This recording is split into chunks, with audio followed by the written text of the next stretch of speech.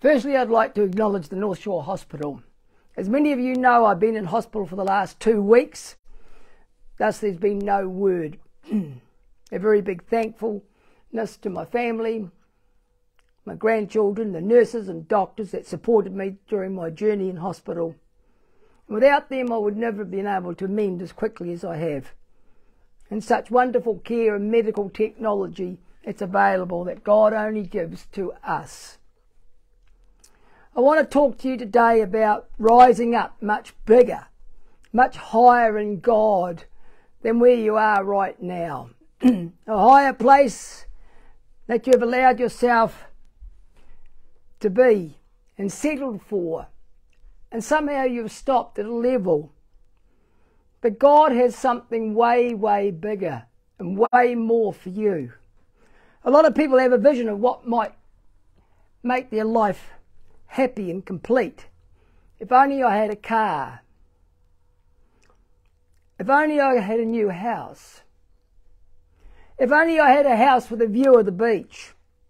If only I had more money, and only if, if, if. And the cry of the heart is never fully satisfied. I'd happy, be happy, very happy, and never ask for anything else in my life. But sadly, that is never ever the case. And I want to say to you no matter what impression you may have formed in your own heart, whatever impression you've got in your own mind, falls far, far short of what God has intended for those that sincerely love Him and which He has in store for you. And let me assure you, He has much, much more for your life, so much more. In fact, the Word says this The eye has not seen nor ear heard, neither has entered into the heart of man the things which God has prepared for them that, that seek Him and love Him. The eye has not seen. The mind can't comprehend. Here's something special for you, something unique, something above all that you can think or imagine, something that's only God has created in your own personality, something that God has done in your own DNA, something that God has put you through experiences, whether they be good or bad, that God has allowed you to go through, which makes following the Lord a supernatural, unique experience. Who has delivered us from the power of darkness and has translated us into the kingdom of his dear Son?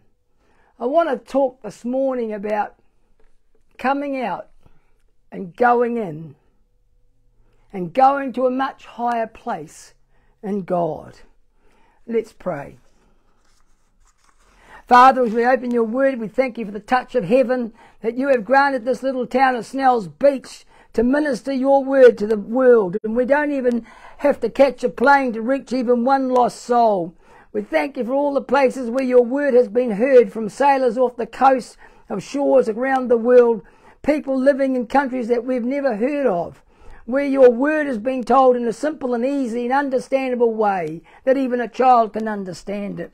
We think of all the people that are lonely at home, wondering if anyone would actually cares for them, wondering if anybody will visit them. Maybe they're in a rest home, maybe they're in a hospital, and nobody bothers to visit them. But God, you do. God, anoint this word as my voice is limited. But your voice is unlimited and can speak and reach many more people than I can. Speak to every heart this morning. Speak to every circumstances. And let this word not come void. We ask this in your precious name. If you have a Bible, please turn to Matthew chapter 16.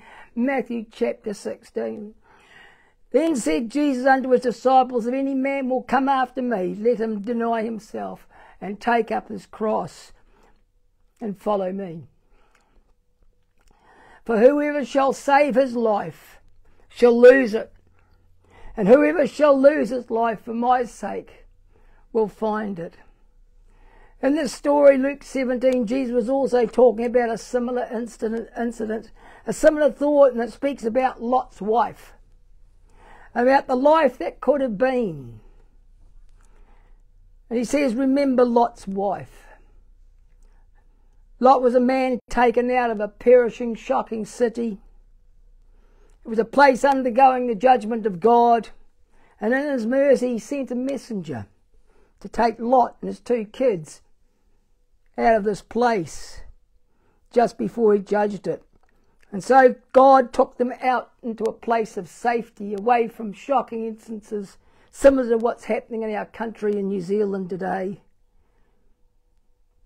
And now, out of this place called Sodom and Gomorrah, Lot's wife decides to look back. Longing, looking back in her heart, longing for what she thought she wanted to preserve, to which God had said, Leave it all behind. Now, this is the dilemma that many people face today in the church. There's something in your life that God has pulled you out of.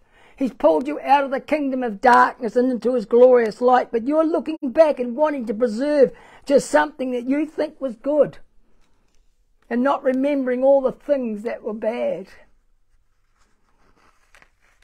It's like going back to an old girlfriend. It just doesn't work out. And God is wanting to draw you out and where you are, and in a sense, you have a vision of what might happen, what happiness might look like, and what your life should look like. But that vision is very, very temporary and short sighted. But many people look back to that which was left behind. And God is actually trying to draw you out of the situation. They're looking back, believing there's something of great value back there. But God says, no, Look ahead. Therefore, if any man is in Christ Jesus, he is a new creature, and all things are passed away, and behold, all things are new. Old things have passed away. They're not there anymore. It's an illusion. And God is saying, I want, to leave, want you to leave these things behind, what has been left behind. And no one puts his hand to the plough and looks back, which is fit for the kingdom of heaven.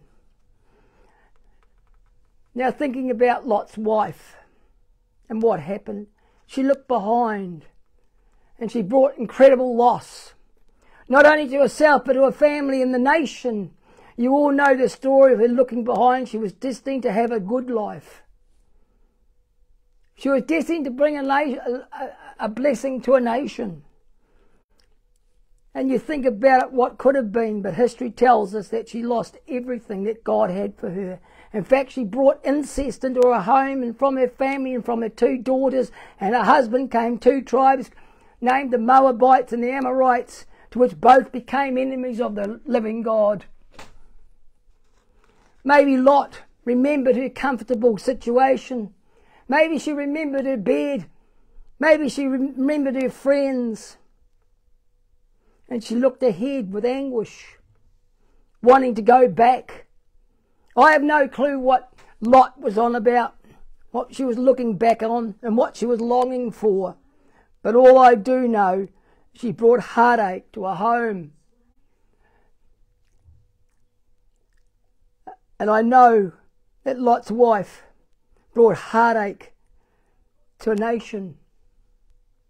And when you stop and think about it, just one person that looks back and not willing to leave it all behind, there are certain things in life we must leave behind so we fail to create a total disaster in our lives. Like, like Lot's wife that look back. Even the things we thought that were good, clearly when she looked around, she had to think there had to be something good back there. And I don't know that what it was. It may have been a nice house. She may have had a little business. She may have had a little nice circle of friends. I don't know, but sometimes God takes us out of these comfort zones. I don't know what it was. All I know is that when she, Lot's wife looked back, she brought incredible heartache into thousands of people in the nation. And when you stop and think about this story, those that will not go into what God has in store for them, for us, the heartache it brings to our families, our business, our friends, and everyone we touch and associate with, all. And times God will take us out of a church, out of our friends, get rid of them overnight, and you look back and you're thinking, I wish they'd never left, wish they'd never gone. But God has taken us out of the kingdom of darkness into his glorious light, and we are to look forward. Whoever decides to save his life will lose it. Whoever loses his life will find it. In other words, let go of the past. Let go of the friends that have diced on you. And what I think, what will make my life happy. Stop thinking if only and say, I don't know what I, you have for me, God, but I do know this thing. Whatever you have for me is better for my own heart, better than my own imagination. So I'm going with God. And what you have for me, I'm willing to lose what I have and what you have for me. So it will bring a blessing to my family and my friends and our lives. And this was the exact dilemma that the children of Israel found themselves in. But they were in Egypt and they were, a whole generation ended up living in a very dry, barren land. And here is the reason why they wanted out of captivity. They wanted out of the kingdom of darkness. Just like many listening on this broadcast.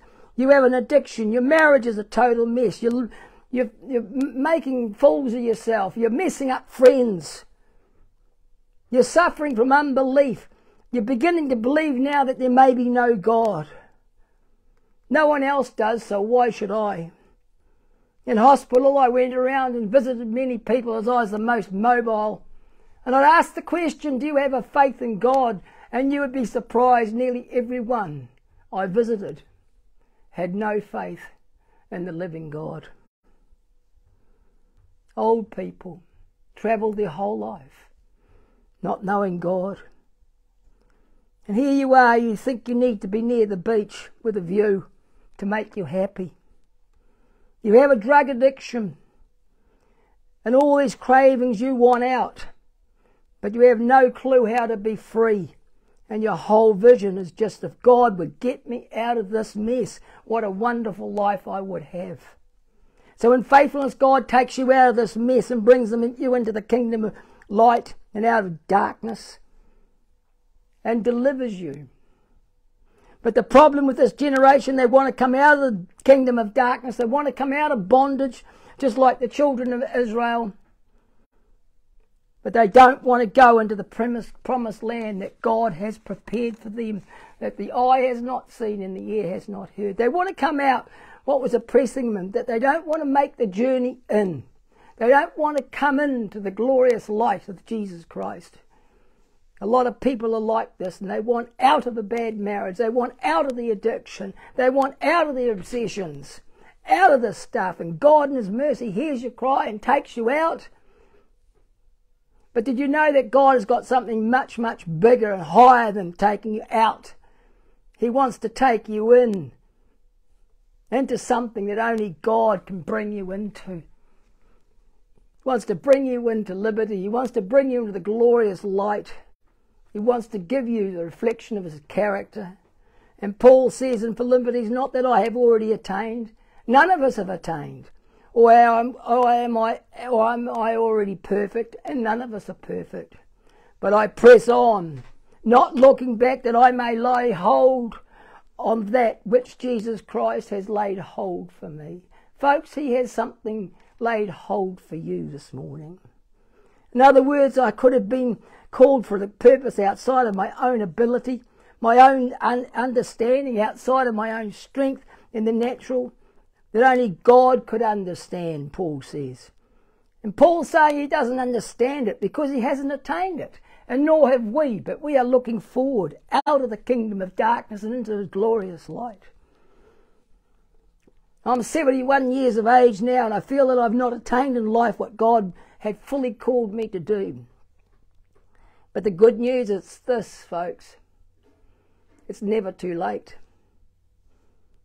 Maybe I could sit down on some island in Asia, leaving a trail of disaster and disappointment behind.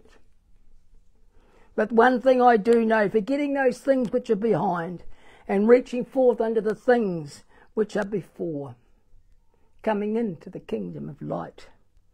And I press forward to the mark of the prize of the high calling of God in Christ Jesus. Therefore, as many as it be perfect, be thus minded, and if anything ye be otherwise minded, God shall reveal it to you this morning. Paul is saying, I'm moving with God.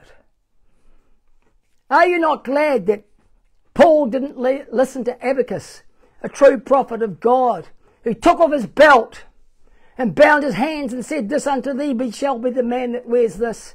And he shall be in prison and you'll be in bonds and prison awaits you.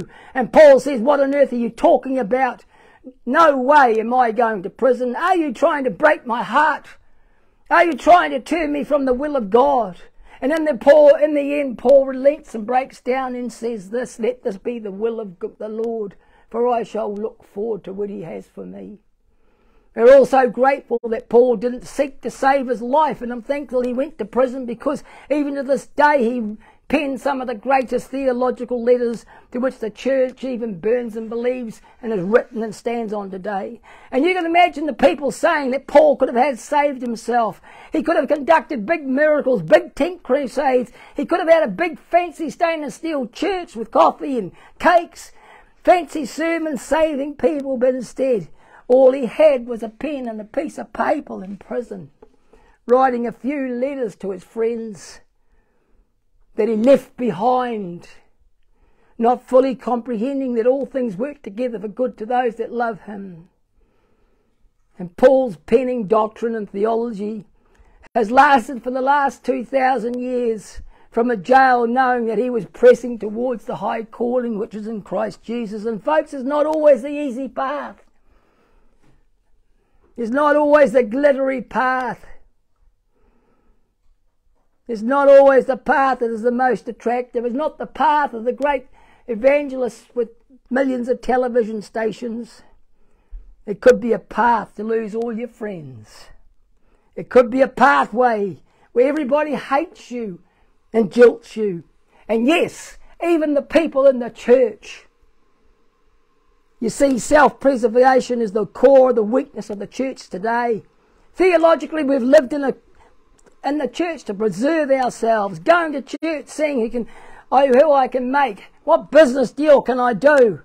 I like it that way. The church suits me. Don't mention the blood. Don't say anything about hell or judgment. I'm happy with that. And when do, do you ever hear about this in the woke churches? It's not PC and the church has become captives of councils and governments helping to buy entertainment centres so you can have a little church with a happy, non-effective people for the gospel of Jesus Christ. And at the end, say nothing that will challenge anyone or offend anybody for the sake of the cross. And what is it to bless me? A scone and a cup of coffee at the end of the day. And because of this weak testimony, the church has become so compliant and so weak and so PC, by the way, saying nothing about sin I don't want to hear about it. That way I'm happy looking back and enjoying my sin. But by God's grace, the church will be shaken one more time and wake up this woke garbage that's landed in the churches today, which has brought nothing but captivity in the churches.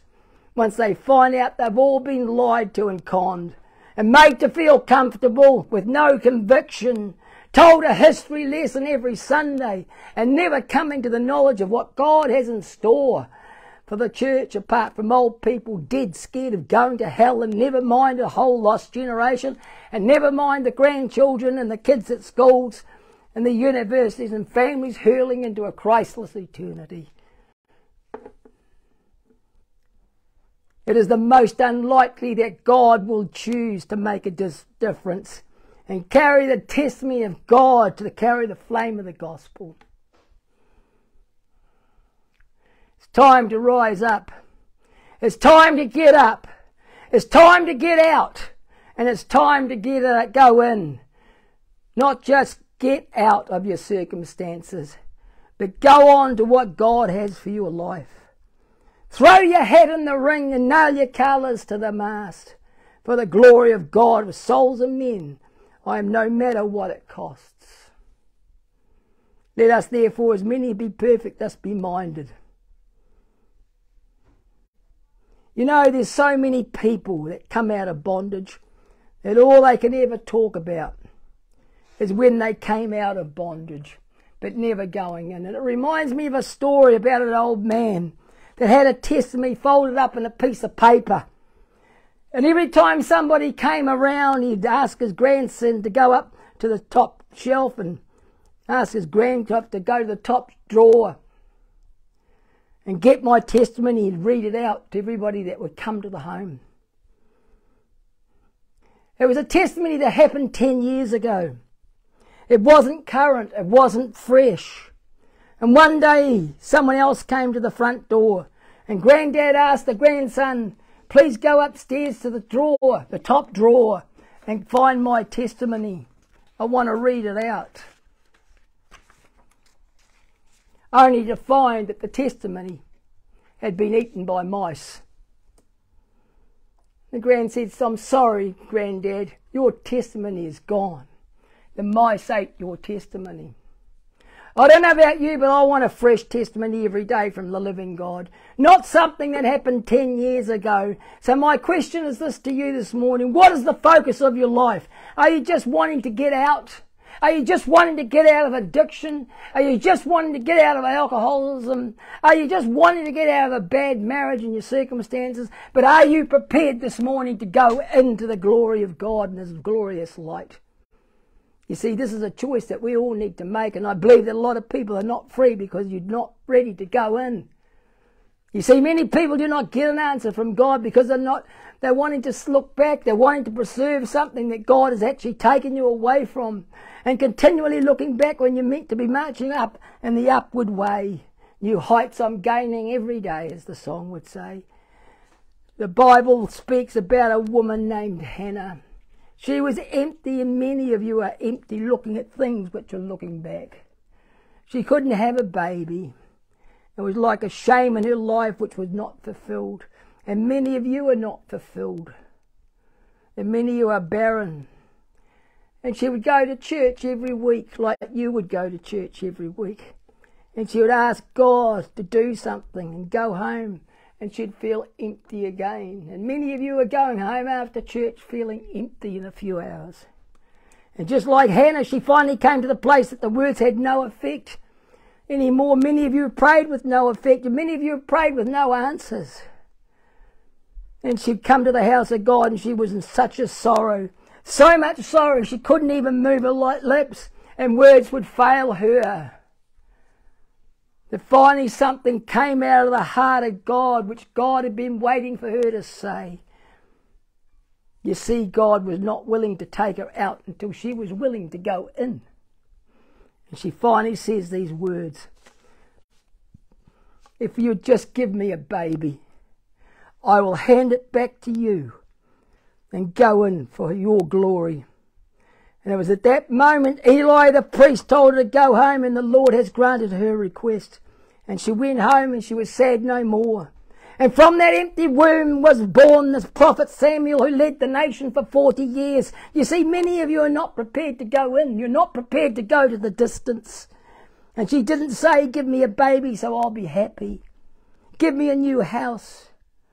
She said, take me just out.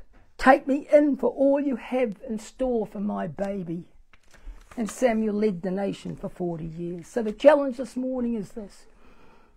It's not good enough to say, take me out.